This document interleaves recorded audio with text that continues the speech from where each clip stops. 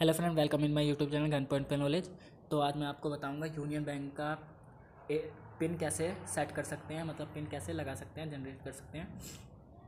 Okay तो सबसे पहले आपको ये जो स्लॉट दिख रहा है ये ब्लैक ब्लैक सा इस पर अपना डेबिट कार्ड डालना है और निकाल लेना है। ओके डेबिट कार्ड डालने के बाद कुछ ऐसी स्क्रीन आ जाएगी। फिर आपको सेट एटीएम पिन पे क्लिक करना होगा। कुछ ये देखिए, इसके लिए बटन जो है ये यहाँ पे दे रखा है। इस पर क्लिक करना होगा।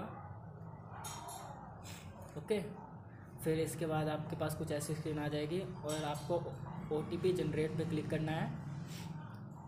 उसके लिए ऊपर वाला वाइट बटन दबाना होगा, ये वाला। ओके? तो इसके बाद आपको क्या करना है, कुछ थोड़ी देर वेट करना पड़ेगा। फिर ओटीपी आएगा आपके मोबाइल पे। जो रजिस्टर मोबाइल नंबर होगा, उसके बाद कुछ ऐसे स्क्रीन आएगी। फिर इधर एक और बार आपको अपना कार्ड डालना है और निकालना है। फिर से आपको ये सेट ओटीपी है वो सेट ट्रांजेक्शन पिन है, उस पर क्लिक करना होगा। फिर जो, और फिर उसके बाद आपको इस पर क्लिक करना है ओ टी पी वैलिडेट पे ओके फिर इसके बाद जो भी आपको ओ आया था, उसको यहाँ पे डालना है। ये देखिए, ये जो यहाँ पे कीज़ दे रखी हैं, इसका यूज़ करते हुए आपको अपना ओटीपी डालना है, जो भी आपके मोबाइल पे आया था। ओके?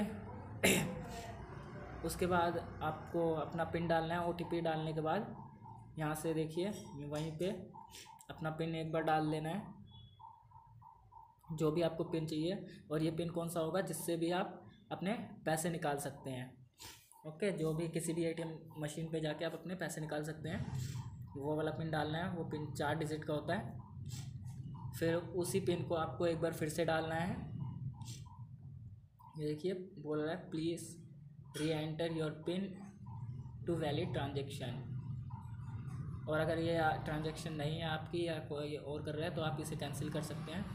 अगर नहीं चाहते पिन जनरेट करना तो और इसके बाद आपके पास, ये देखिए पिन चेंज कंप्लीटेड ओके तो ये ऐसे पिन आपका जनरेट हो जाएगा. Thank you for watching video अच्छी लगी हो तो लाइक कर दीजिए और सब्सक्राइब कर दीजिए. Thank you